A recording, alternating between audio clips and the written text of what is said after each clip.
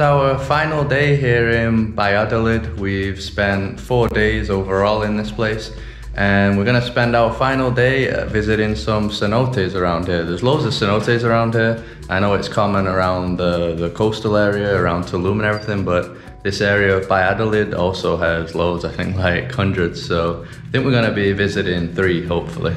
And I didn't mention in the first video of this uh, room tour that this place also gives us free bikes. So two bikes. So we got this one here, and then we got Carol's purple one. So that's awesome because obviously the price of this place was like $29, but bike rentals can sometimes be like $5 each for the day. So you get that included, that's like $10. So great deal.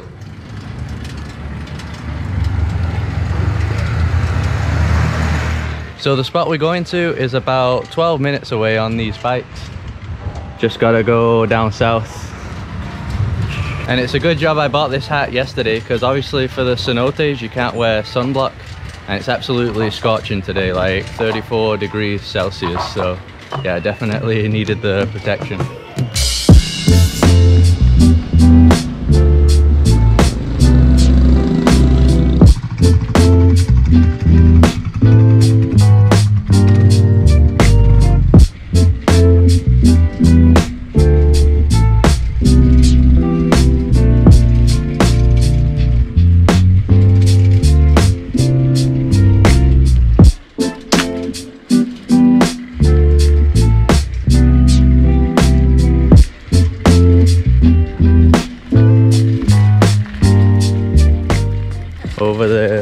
Abandoned train track with a horse.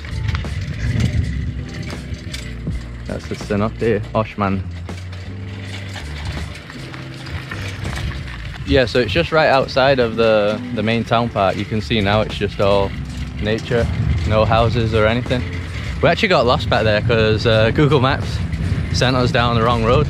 Mexican guy passing in his car, he probably he knew where we wanted to go and he just told us to go down this road instead. So yeah, he helped out even though we didn't ask for help.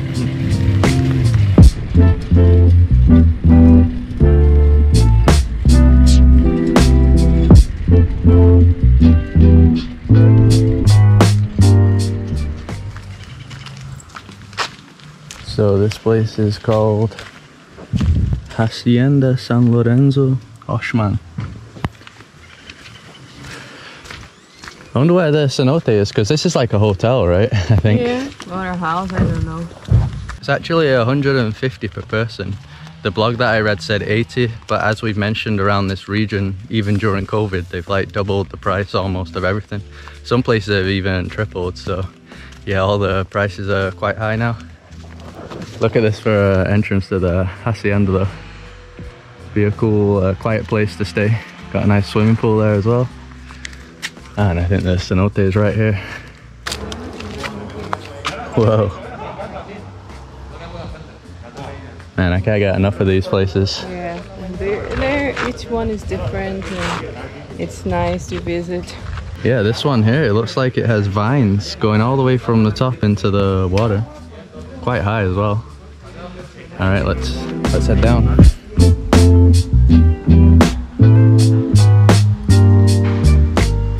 Yeah, check this place out. So it's just us and uh, another group of people at the moment. Beautiful in here though. And the reason we came to this one is because is because it has a swing, which this guy's gonna show us right now.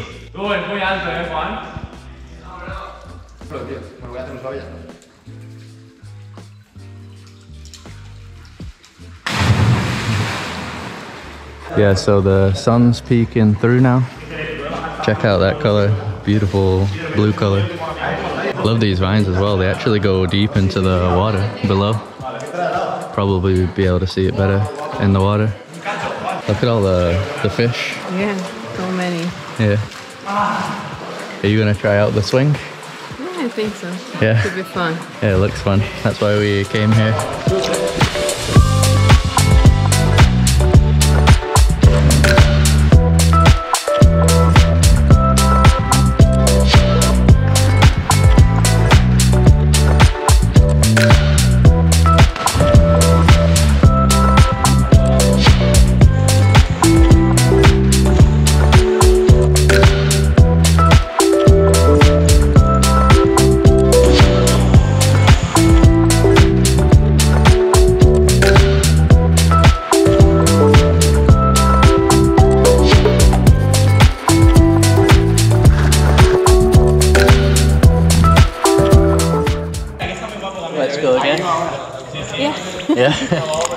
You did a good job. I know. No backflip though. Where was the backflip? I don't even try. The best the best way to cool down. I think this is the coldest one. Yeah, so you gotta wear uh, you gotta wear life jackets unless you're jumping. Apparently, that's pretty good anyway. Easier to just float around. Check it out, the guy's gonna jump. Backflip time. I'm warming up now. Not you. Okay, you can see the the vines up close. Loads of them.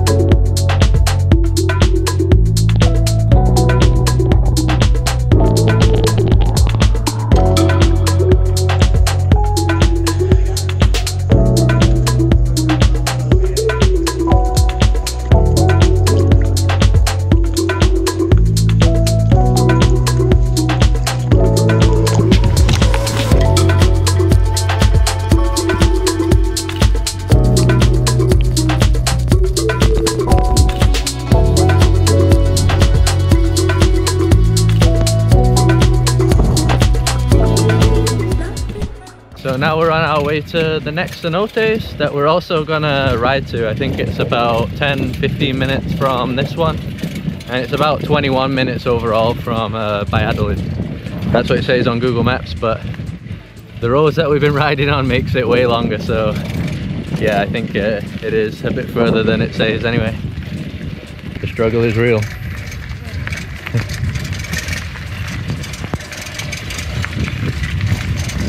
Look at these roads. so bumpy.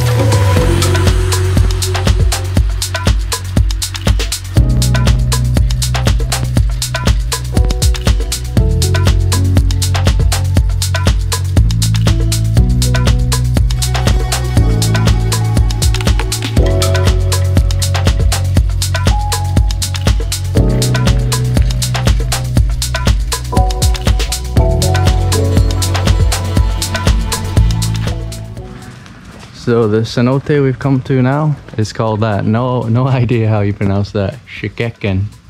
Maybe that's how you say it. And this place has two cenotes, so you can either pay 80 pesos just for one cenote, or you can pay, was it 125? Yeah, 125 for the two of them.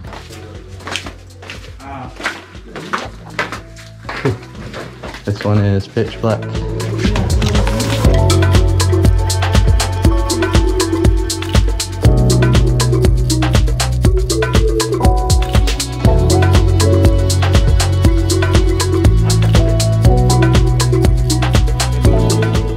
Yeah, so in this one, you can rent these things for 20 pesos, either this or a life jacket.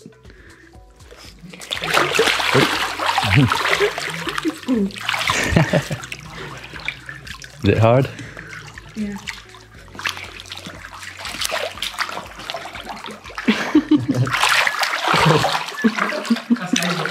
All right, Let's float. Once again, a completely different kind of cenote. Yeah, so this one is a complete cave. Pretty much all enclosed, but there is a little hole up there. So I think if you come at the right time of the day, there'll be like a nice beam of light. It's a shame that the GoPro is not good in the dark because this would look a lot better. I'm gonna go like this. Somebody needs some help with the. How do you call that? Lilo? I don't know. I don't know what you call this float. Oh, it's way better like this. Okay. Yeah, I'm fine like this. Cows mastered it. it didn't look as good on the camera, right? No. But it's so beautiful. You can see the. How do you call that? Like uh, those things coming from rocks, yeah. like I don't know down. the kind of rock, but Yeah, I don't know either. magical. Yeah, so this is the only natural light source. Look at that little hole up there. See how beautiful and clear it would be though if it was out in the, the open.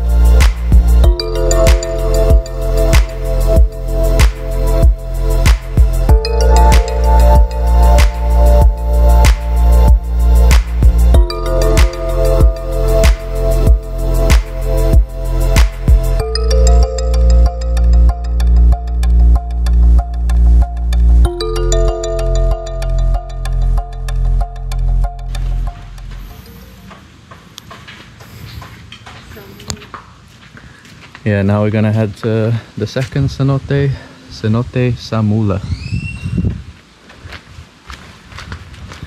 Got some horses over here. You see, he stamped his foot. Really? Yeah. He was like, get lost. Yeah. me. Check this little dude. playing, playing with the plants. Hola.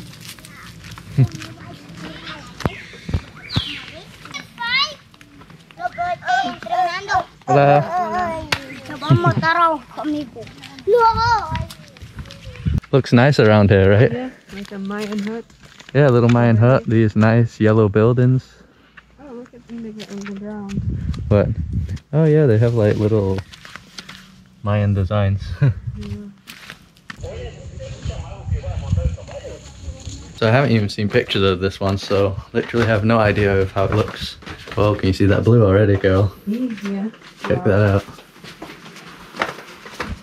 Wow, look at this one. This one's huge. Wow. Yeah, look at the size of that. Yeah. Look how clear the water is. Yeah. Clear and blue. Yeah, we're definitely getting in there.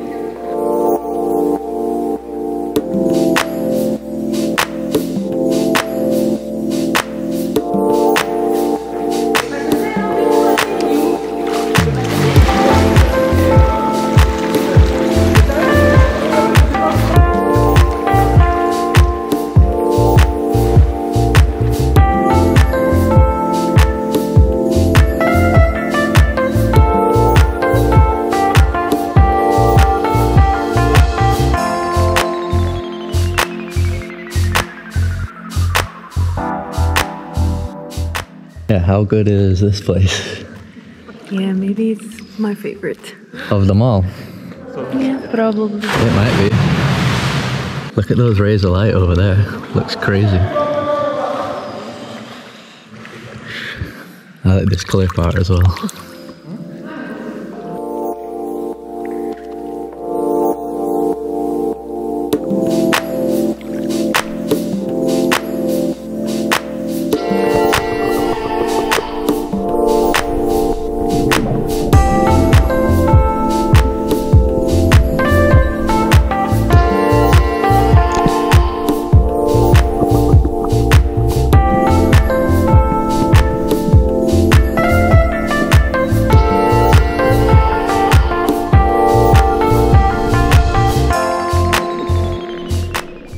That's it for the cenotes for today. So I think overall it was 315 for all three of the cenotes that are around this area, which is pretty good because if you think about it in Tulum, just for the Grand Cenote there, the famous one, you pay pretty much that same price. And these three are way better, right? Overall. Yeah, overall, I think they were better and a bit different because there are caves and All three are completely different. yeah, they're completely different. Yeah, Grand, Grand Cenote, you might just stay like an hour there, and Which this is like beautiful as well and worth it. But the three of the, the group of the three is I think it's better and cheaper. Yeah, and it's like a three, four hour trip overall, mm-hmm. right? Yeah, awesome. Cocos frios. You want a coconut?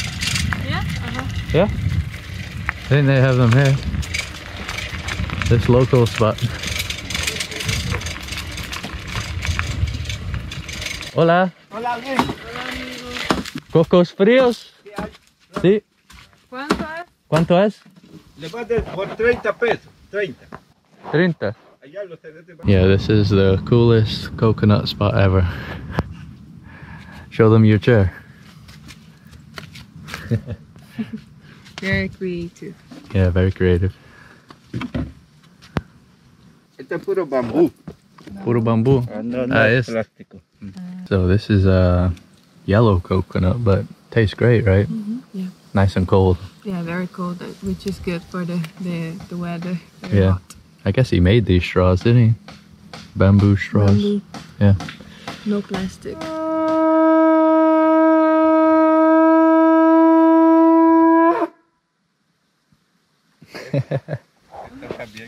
Muy alto. Ah, este caracol se llega a escuchar hasta 6 kilómetros de noche. De noche cuando está bien tranquilo. 6 Ah, kilómetros. por 6 kilómetros la redonda. Tengo uno más grande allá, pero toca poco menos, no, no toca igual. Ah, Este ok. Toca más fuerte. este. Es mejor. Ah, voy a tocar una vez más, pero de este lado. Okay. Okay.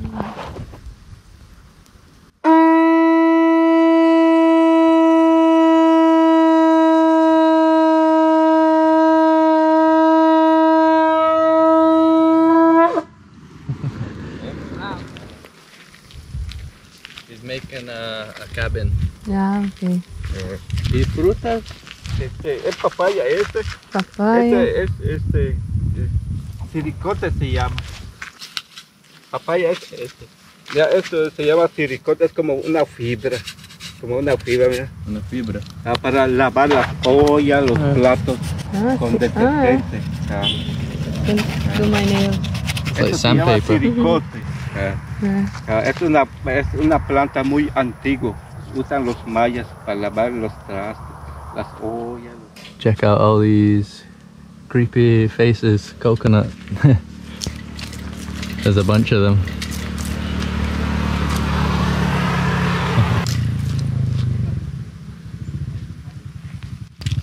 Oh, look at this one.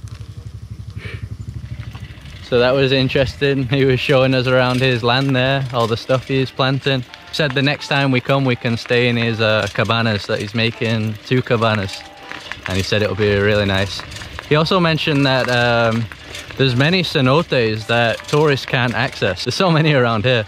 Like we're going to all these amazing ones. There might be even better ones or many of the same level. So yeah, really cool.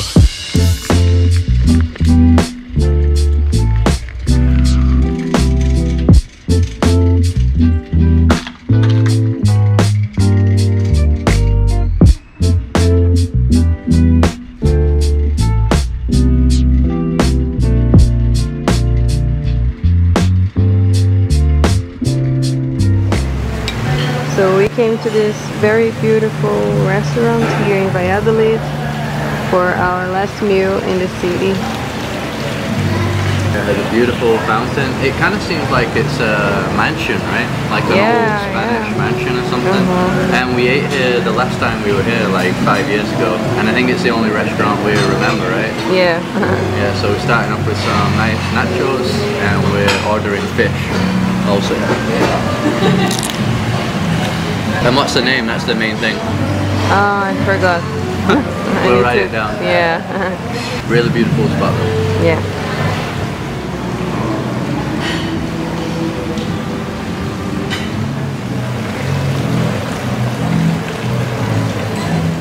So we both decided to order this fish dish here, which is with garlic sauce. Yeah. Yeah, I think it even has bits of garlic as well, bits of pieces. And what was the price of this? 220. 220. 220, yeah. So not still not too bad for like a fancy restaurant. Like for fine dining, it's a okay price. Yeah, it's a good price. Really tasty dish, right? Yeah. Everything is very tasty. Yeah, everything's super delicious. Like the majority of food in Mexico. The rice here is really nice as well. It seems like nice and soft, different to what we've had before in Mexico. Good spot to come to. So we're in the main square here now that we showed the other day and we're just going to be heading back home now. We're just resting here, letting the food go down. Really beautiful here at night. We hadn't actually been here at night on this trip. Probably see the, the church is all lit up. Can you yeah. see it here? Yeah, yeah, it's beautiful. Yeah, it looks beautiful. Even the square here looks really nice as well. Yeah, it's a good place to relax. And here in Mexico, everybody seems to like coming to the main square in the center of the town. Yeah, it is a nice thing to do. Yeah, literally every town we go to, it's kind of like the same kind of a cultural thing, I guess. So hopefully you enjoyed our trip around this region. We're actually going to be leaving this region altogether and we're going to be heading to Oaxaca in two days, which we've never been to. And a lot of people say that's their like favorite place in Mexico when they go there. So yeah, I think we think it's going to be awesome there. We're going to spend quite a few weeks there. So that's what's coming up. So if you like the video, as always, just drop a like to support us. Subscribe if you'd like to see more videos like this. Follow us on Instagram and we'll see you around. Bye, guys.